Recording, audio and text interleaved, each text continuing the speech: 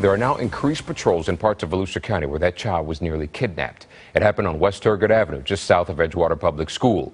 Police say a man approached this nine-year-old boy and tried to get him to go to his house. News 6 reporter Mark Lehman tells us how police are keeping children safe. Edgewater police definitely made their presence known as students were arriving for class earlier today.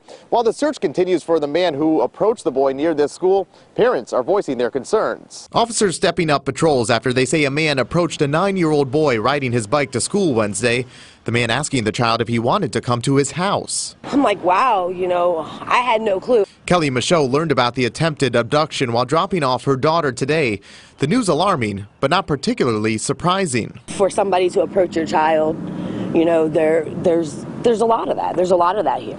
In fact, Michaud says she's noticed strange activity in this neighborhood before. And I have reported to the school on several occasions of strange guys just walking up and down the school. After yesterday's encounter, police say they're looking specifically for one guy. He's described as heavyset with medium length black hair and a long goatee. They say he was dressed in all black and wearing sunglasses.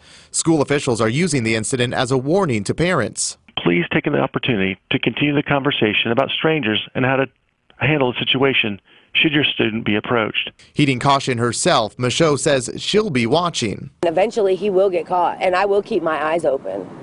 I will keep my eyes open. For the time being, Edgewater police say they'll continue extra patrols around both elementary schools within the city limits. They're also asking anyone with information on the incident that happened yesterday to call Crime Stoppers, and that phone number is 1 277 TIPS. In Edgewater, Mark Lehman, News 6.